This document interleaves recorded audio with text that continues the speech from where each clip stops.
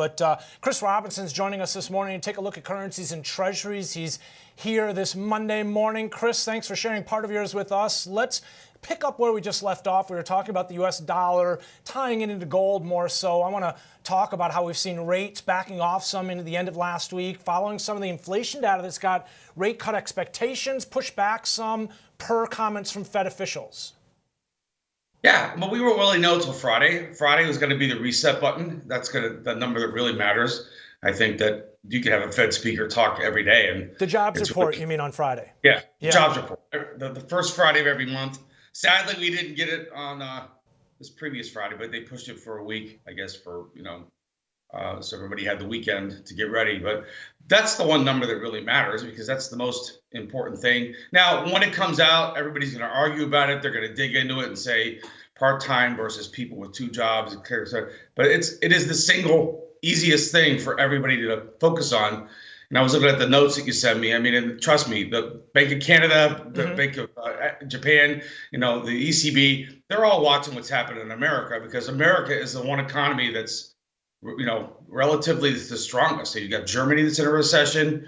Uh, you've got Canada, you know, flirting with a recession. Uh, so UK, for that matter. Yeah, absolutely, you know, there and you know, there's it's that expression from that bad '80s movie. It's the it, it's the dog with the least fleas, right? Yeah. So that's that's really what it comes down to, and that's why it is so important. And that's why you know, back 20 years ago, 30 years ago, there's guys that would just fly in to trade the number and then they would go do other things. I mean, yeah. this we're, we're getting back to that time where the unemployment number is really going to rock the the bond market. So it's you know for everybody out there that's uh, a trader or wants to be a trader or imagines they're a trader, these these uh, Friday unemployment reports. Uh, there, there's a ton of opportunity there, ton of risk, yeah. a ton of opportunity. I yep. forgot about those days, Chris. The the packed pit days where the guys would come in, a tough day's work, right? Where they'd come in and trade the number for 30 minutes and then yeah. get the heck out of there. But yeah. talk to us because I, would agree with you in terms of the jobs report on Friday. I'd imagine, especially after that income number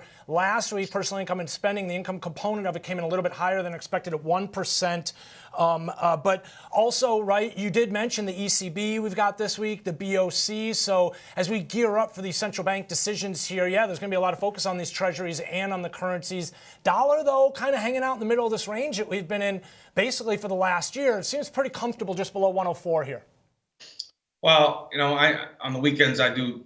Uh, I go through like about 15 or 16 markets just to get you know, keep an eye on things. And the dollar is in a huge wedge. Yeah. If it pops up, if it pops above 105, it's big. If it pops below 101, it's a wedge. Anybody out there with a, a ruler or a charting program can see what I'm talking about. And we are coming to the apex of that of that wedge. Now, when we break out, uh, it, uh, it, comes in, you know, it probably is going to happen on Friday. Now, it may be a big breakout, it may be a feeble breakout, it may be a head fake, mm-hmm. but I would watch those levels. And again, if you're watching this show, you're looking for movement. Movement equals opportunity. If the dollar does start to reprice, because in general, we have been trending lower since the 2022. Uh, that was a, a 22 year high in 2022. Say that five times fast.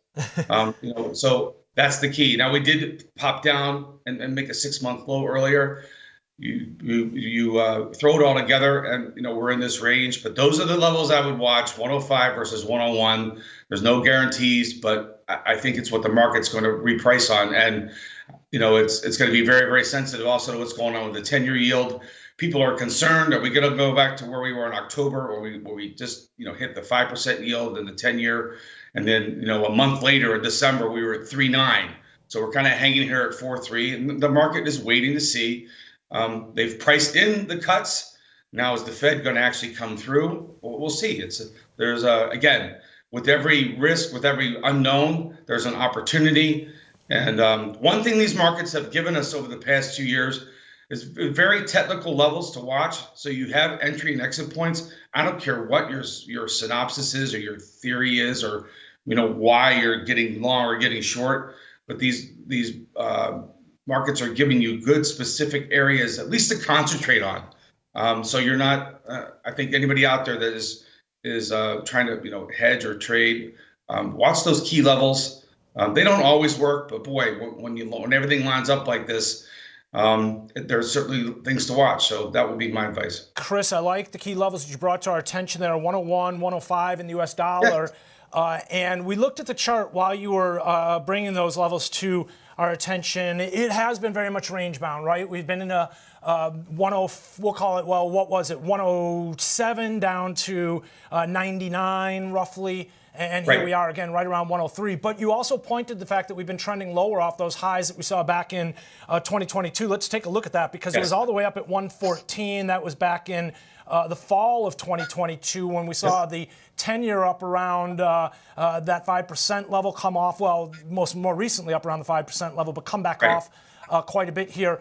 Uh, talk to us because, you know, we were looking at the yield chart as we just started kind of flipping to this chart here, and they're very similar, right? Yields have come off recent spikes, yields on a more short-term basis here. But uh, you mentioned that risk, and you mentioned some of the opportunity that's out there. I'd imagine uh, if you're trading Bitcoin, that's what you're focused on, those two oh. things, right? Because we've seen quite a bit there. With the dollar more on a bit of a range-bound type trade compared to crypto, there's been a fair amount of risk you've been short this thing, right, the, it's been straight up ultimately, but a lot of opportunities we near these all-time highs as well and come off those lows after yeah. ETF approval. I, you know, whatever Bitcoin is, you know, and and um, I, I, agree with my perspective of a Bitcoin is it's basically a commodity. You, you might as well be looking at greasy wool or back in the day they used to trade onions. Everything has a price. Everything has a story. Uh, it's great if you want to trade something that's moving. Here's your Bitcoin, and what what matters most to me is the old uh, all-time high. I think it's 69 350. Mm-hmm. Got to remember, some somebody bought it there and then wrote it down to sub 15,000. So Ouch. if everybody's giddy, giddy, giddy right now, um, I call it the Thanksgiving trade. Thanksgiving one year we were at all-time highs. The next year we were down to 15,000. So all the people now that are pounding their chest like Tarzan, you know, in a 1930s movie, uh, I would say where were they back when we were at 15 grand? Um, so be very, very careful. People get emotional. People start talking their position. Um, but again, what are we looking for? We're looking for opportunity. Everybody knows if we get north of 69.5, it's going to be new highs. People are going to be, uh, you know, taking a shot, either trying to get long up there or short against it. Uh, but again, as far as I'm concerned, you need to treat Bitcoin like it's any other commodity um, people are kind of establishing, you know, religious context to it almost, and getting they're like prophets and you know, proselytizers. I, it's just something to trade people.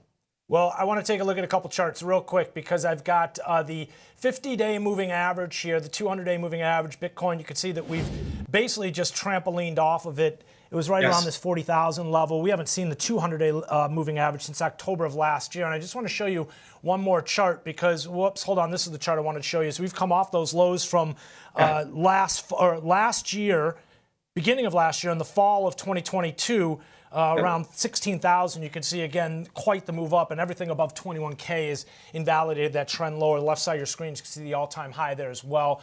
Chris, lots to focus on here, whether you're talking currencies or treasuries or crypto, uh, uh but across the board here, uh, um, uh, lots to focus on this week. It's going to be a busy one. Thanks for. don't forget about gold. Gold's finally above 2073 you know that's another another thing to watch it does trade like a currency so there's lots of opportunity here as we you know start out march that was my chart of the day today. It's on our radar for sure. It's a, a bright blip on ours. Uh, Chris, thanks for sharing part of your Monday morning with us. Chris Robinson from TJM Institutional Services. Now